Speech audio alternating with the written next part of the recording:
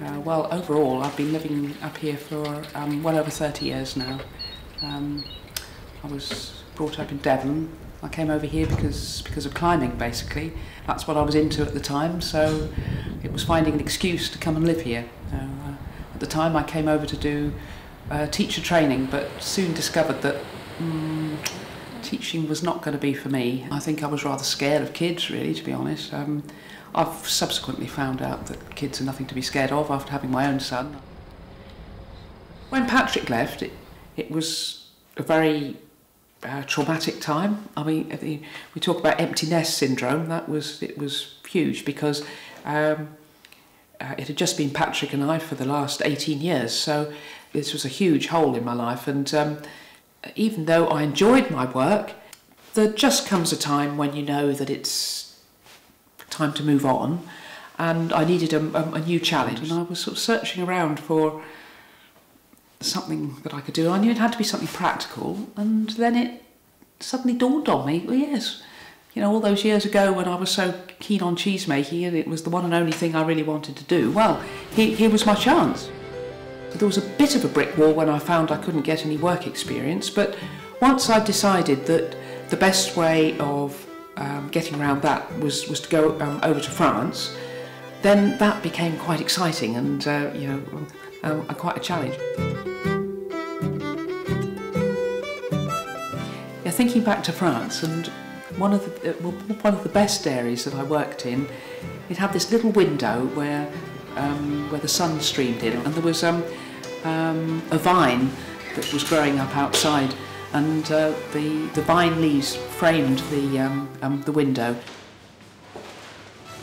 As the um, cheese in the mould drains through the mould and then it, the, uh, the whey seeps out onto the curd table and the curd table is you know, generally on a bit of a slant and all the way drains to one end of the table and then there's a nice hole and it dribbles through the hole and into a bucket underneath. Gradually as, as the bucket fills up you know the sound of the drips changes and um, and particularly if you've got two curd tables going at once you've got two of these going on and maybe one's at a slightly different pitch than the other and um, it was great it was like um, having a couple of sort of bagpipe drones in the back then with the sort of rhythmic bit of the drips falling in you could um, you know, alter the tune according to what the pitch of the buckets were. And as long as nobody else was there in the dairy, then uh, you could you could sing away, and it, yeah, it'd be great. I used to love those times. Well, at the moment, what I find quite difficult is that um, because I don't yet have my own dairy, and I'm operating in various different locations, and I all, always seem to be collecting milk from one place, travelling to another, finding I've left something behind and um, having to make do with something and then it takes longer than it should and I'm late for the next thing. So I've got to make it less stressful. Well, we're um, on the outskirts of Bethesda here and we're, we're at the old um, Catholic church which is currently Arwerth um, for sale and uh, it just might be the location for my new dairy. It's, I'm, I'm just so excited about having somewhere so close to home. Well, coming back to Wales was, you know, was really important for me. I mean, partly just because I've lived here for most of my life, and partly because it's, you know, such a beautiful place to come back to, and this is where, you know, so many of my friends are too.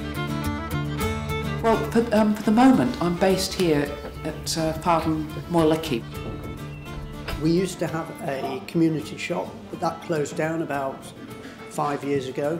So when this was opened, it's the only facility that we have for coffee, meeting friends, buying local food, and it should be a lot bigger, and I hope it will go a lot bigger. Um, until we met Carrie about two or three years ago, I'd never tried uh, sheep's cheese we started getting interested in what she was doing and it's very unique and it started to win awards and the flavour is absolutely fantastic.